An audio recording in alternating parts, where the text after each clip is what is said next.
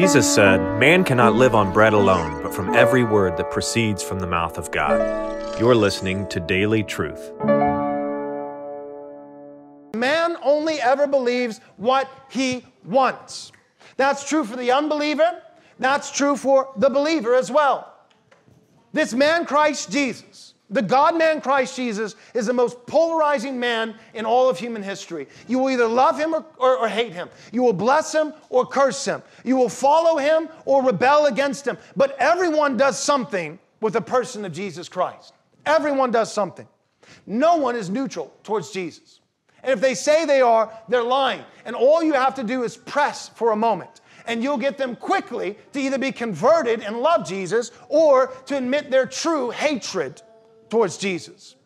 Doug Wilson says it like this this presuppositional idea. He says that, you know, Romans 1, all men are lying and suppressing the truth in deeds of unrighteousness, right? So they do perceive it. They know. And then what they do is in their rebellion, they begin to suppress the truth. So, so again, the, the pattern in Romans 1 is people are not ignorant. They do know that there is a God in heaven and that he demands our allegiance. And then people choose to rebel so the issue is not intellectual, the issue is first and foremost moral. And they choose to rebel against Christ, and in their rebellion, by deeds done in unrighteousness, they suppress the truth and become ignorant. So are there ignorant people? Yes. But here's the question Did they start that way? Did they start that way? According to Romans 1, no, they started perceiving.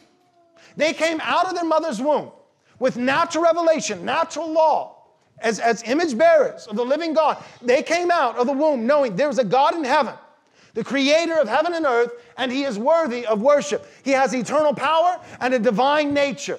So they come out knowing, not ignorant, but knowing and then in their rebellion, because the issue is not first and foremost intellectual, but first and foremost moral, in their rebellion, then they begin to lie and suppress the truth in deeds of unrighteousness. And they are handed over progressively by their sin and hardness of heart to ignorance. So men become ignorant.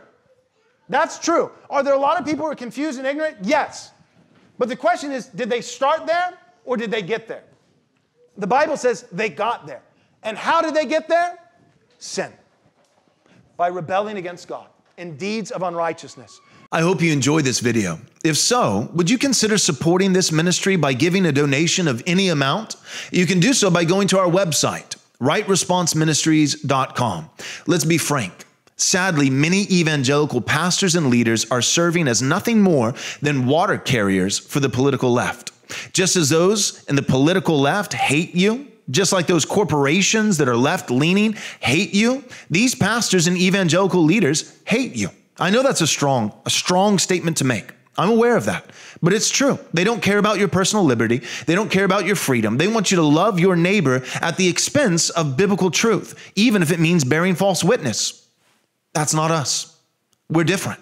We're not the only ones. I don't want to be arrogant. God has reserved a remnant for himself in this time as he has all other ages and all other places, but they are few and far between. It's called a remnant for a reason.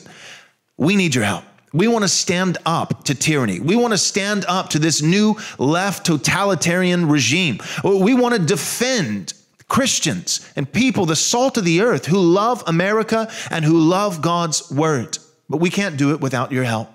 If you're not prepared or able to give a financial gift, one way that you can support this ministry is by simply subscribing to our YouTube channel and clicking the bell so that you'll be notified as we come out with new content. You can also help us by sharing our content on all your social media platforms so that more people can hear the truth of God's word with courage and fidelity. Thanks for tuning in. God bless.